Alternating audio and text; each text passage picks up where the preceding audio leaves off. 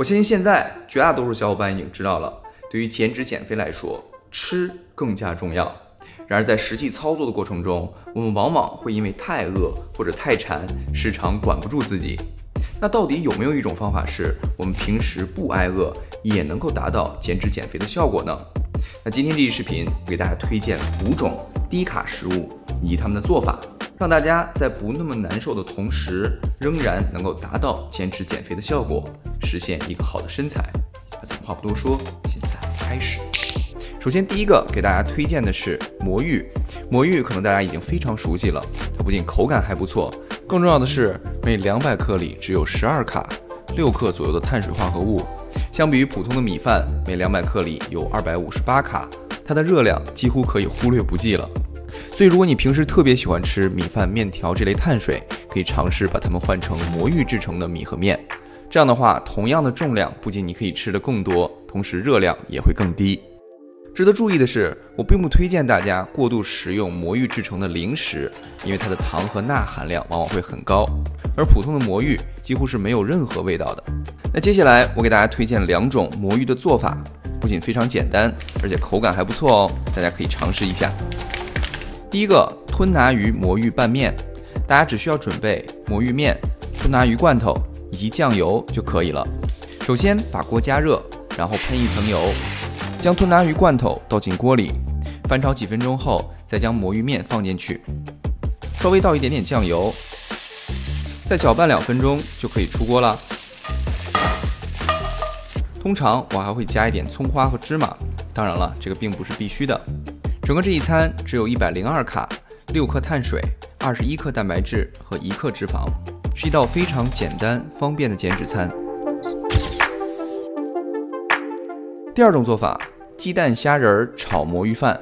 喜欢吃米饭的小伙伴可以把魔芋面换成魔芋米，它们的营养成分都是一样的，大家都可以在某宝买到。我们需要准备一瓣蒜，一把虾仁，一个青椒，三颗鸡蛋，以及一袋魔芋米。首先在炒锅上喷一层油，热锅之后将切好的蒜末放进锅里炒出香味儿。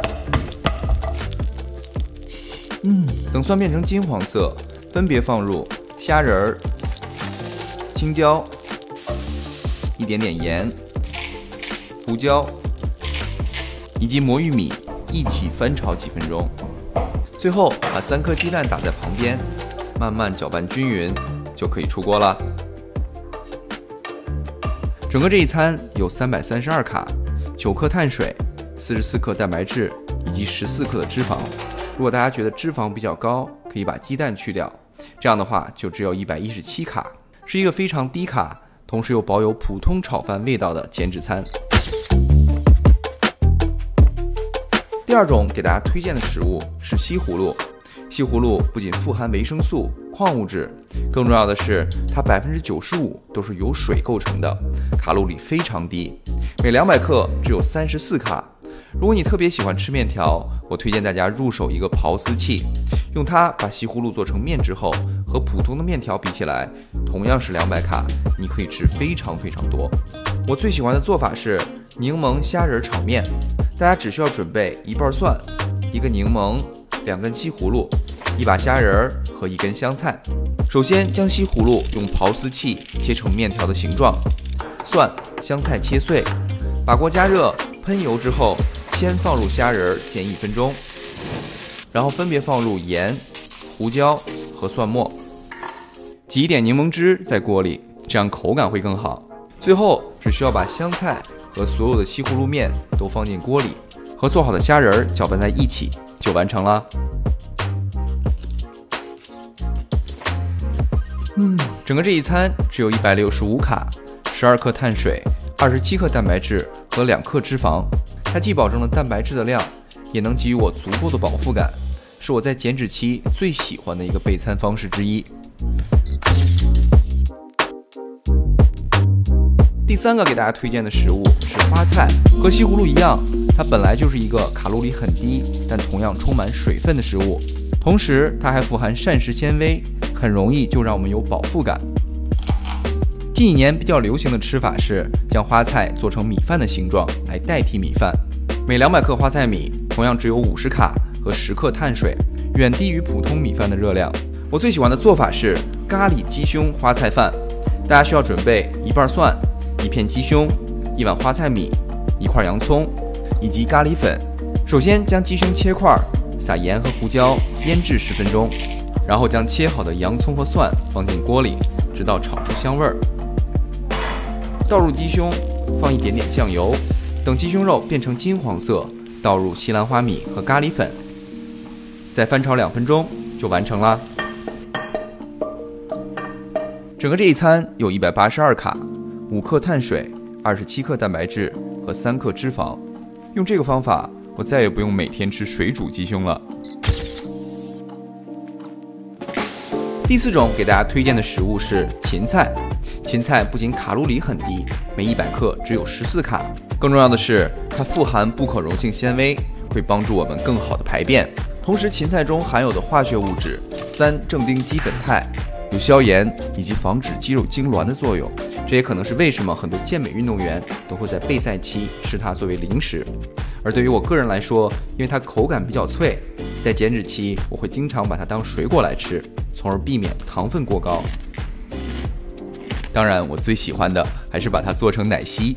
大家只需要把杏仁奶、一根香蕉、两根芹菜、一把菠菜、一片姜以及一勺蛋白粉打在一起，就是一个低卡高蛋白的奶昔。整个这一瓶有三百四十二卡，三十六克碳水，二十四克蛋白质和四克脂肪。如果大家觉得碳水比较高，可以把香蕉去掉。无论是作为早餐还是健身前的加餐，都非常不错哦。第五种给大家推荐的食物是米饼。如果你特别喜欢吃那种很脆的零食，比如薯片或者饼干，米饼是非常好的替代物，因为它本身就是由米饭做成的，没有任何的添加物，同时也保留了零食的口感。每一块米饼有四十卡，八克碳水。一克蛋白质和零克脂肪，如果把它和不同形式的米比起来，同样的卡路里，它的体积会大很多。而因为我们胃的大小是一样的，体积越大就越容易让我们有饱腹感。所以，如果你希望增肌或增重的话，米粉是一个非常好的选择。因为体积小，一不小心你就会吃很多。而在减脂期，米饼则更容易给予我们饱腹感。每次去健身的时候，我都会随身带着一些米饼。它不仅可以帮助我快速补充碳水，也会避免因为太饿而吃一些不该吃的东西。以上呢就是我给大家推荐的五种食物。如果对你有所帮助的话，不要忘了给我点个赞哦。同时，如果你在吃这些食物的过程中有任何不舒服甚至过敏的情况，一定要马上停止，因为饮食是因人而异的。那视频最后我想说，其实食品工业发展到今天，对于我们想控制饮食是越来越困难的。但是近两年，随着大家对于控制体重还有健康意识的觉醒，很多食物都有了低卡的版本。所以，如果大家希望减脂减肥的话，你完全没有必要彻底改变你的饮食计划。而是先去搜一搜你现在吃的东西有没有低卡的版本，你只需要替换掉一两个主要热量的来源，就会有很好的效果。那咱们今天视频到这里，下期再见，拜拜。